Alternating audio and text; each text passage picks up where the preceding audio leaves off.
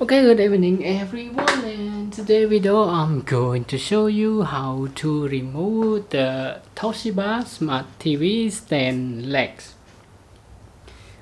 First of all, you need to have a screwdriver just like this one and after that you need to put your TV to the corner of the table in order to remove your TV stand okay and now you will see the two screw inside this location.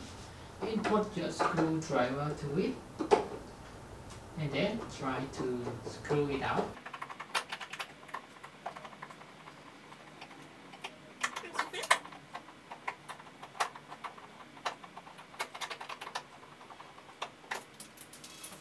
Okay so you will see the two screw here and uh, the connection we see the mark on it.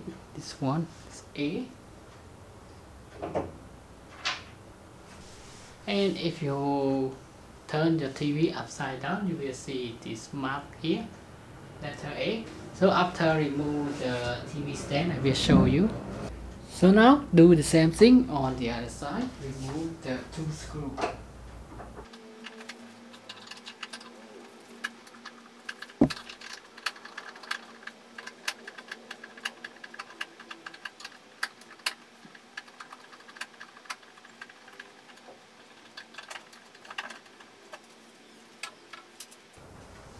okay and we'll see the letter B here.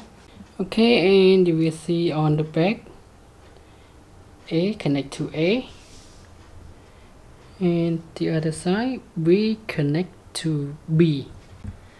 Okay so that's it. That is all for today video of how you can remove the Toshiba Smart TV stand legs. And now thank for your time watching this video and I hope to see you again in the next video. Bye bye and have a nice day